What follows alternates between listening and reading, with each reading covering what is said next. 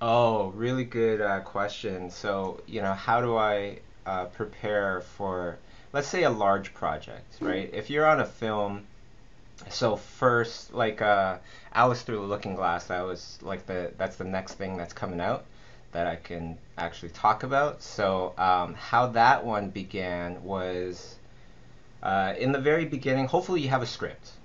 Sometimes you don't sometimes you're on like we've been on when it's just a director maybe not even a director just a writer and some producers maybe not even a writer maybe just a bunch of producers. So um, you always start off with the meeting and the meeting is really not to pitch your ideas as much even though you do a little bit but more to uh, try to figure out what the director or the producers what they want this movie to be, what's their vision, and uh, a lot of times the thing that I found to be the most interesting that I never knew about. A lot of times, what happens is a lot of these producers, directors, they um, they describe how they want their film to be in words that are not visual. So, in other words, like, yeah, I want this scene to be warmer right? And it's like, what do, what do you mean? You want me to bring out the red, mm-hmm. paint in a bunch of red? No, you know, it's like you have to interpret their words. So a really good example is um, I was working on this film with this very famous, you know, A-level celebrity as the main character, and uh, you know, just exchanging notes, right?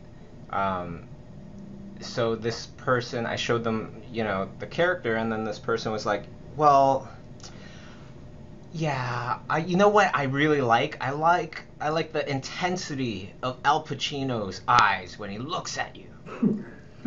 and he's like, but I don't want it to look like Al Pacino. You know, I don't want it to look like me, but I want it to feel like me. I want it to feel like the intensity of Al Pacino. And this guy you know, his swagger. I really like his swagger. I don't want it to be his swagger, but I want it to feel like his swagger.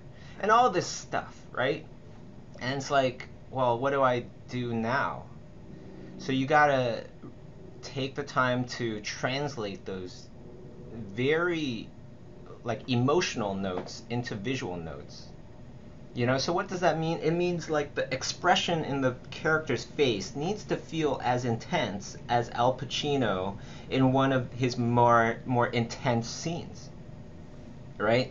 The posing needs to feel like this kind of a swagger, you know, that kind of a thing. Another um, very good example is uh, I worked on the Smurfs. You know, uh, a while ago, um, that was very interesting because you're dealing with a very big license, right? And uh, when you're dealing with very big licenses, that means more people are usually involved. And you created the Smurfs, and now you're going to make Sony uh, Animation is going to make a movie out of the Smurfs. Well, would you want to be involved? Yeah, because that is your biggest thing, you know, in your company. That is your company. Um, are the president of uh, you know the animation at, at Sony? They just spent how much money? Who knows how much money uh, acquiring the license for Smurfs? So that person also spent you know whatever it might be. Say it's half a million dollars Will that person want to make sure that this movie goes well? Yes. You know, and all these people down the line. So then I ended up having um, meetings with all these executives because in the beginning there's no, there was no director. There's actually no story yet. It's a very, very, very loose idea of a story. So then we have these meetings. I show them sketches of uh, the Smurfs and stuff like that and got to a point where everybody was saying, Yes, I like it. Except for one person. And that one person kept bringing up uh, his love of Gollum. It's like, yeah, yeah, it's looking good. But you know what I really love?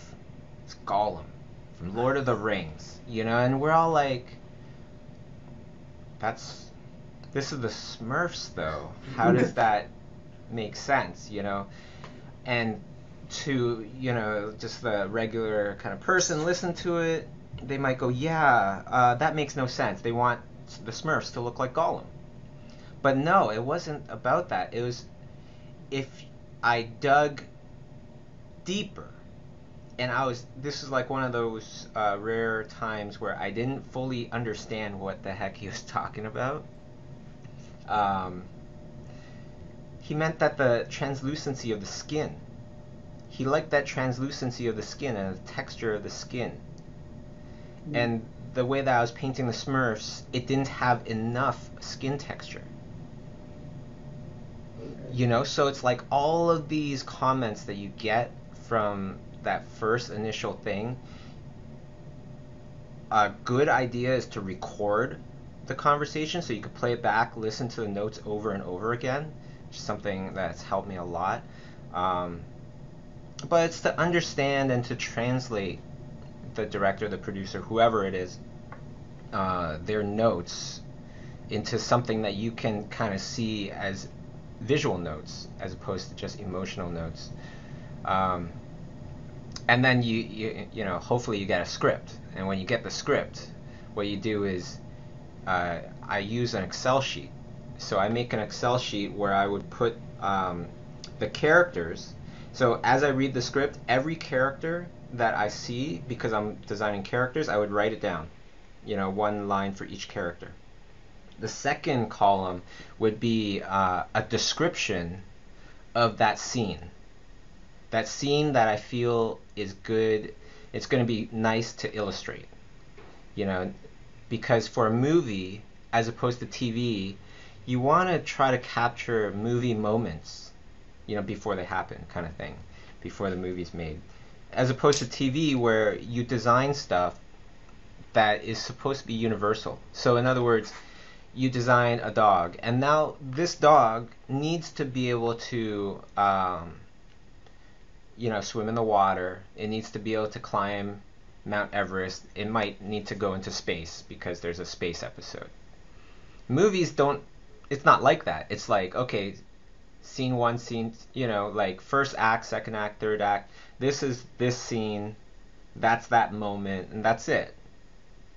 If you can nail that, then you you'll get your design across, and uh, everything will be good. So that's uh, another thing that differs um, TV and perhaps game to film.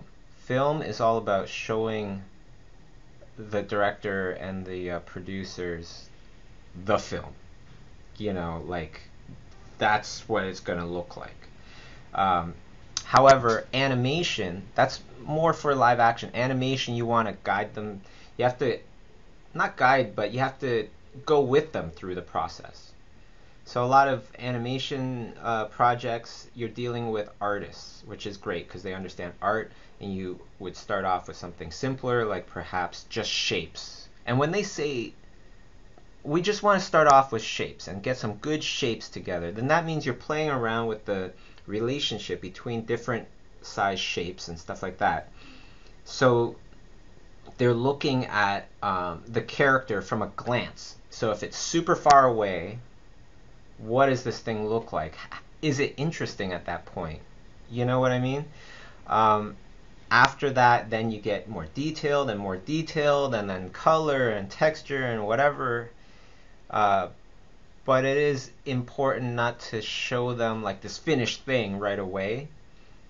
Uh, if it's like, especially if it's heavy duty directors or art directors that have been through you know a bunch of films, you want to have them be able to uh, have ownership of the final design as well as yourself, uh, but to kind of give them the sense that we're doing this together. Their input is important, and we're going to create this character together. It's just that you're the one drawing it.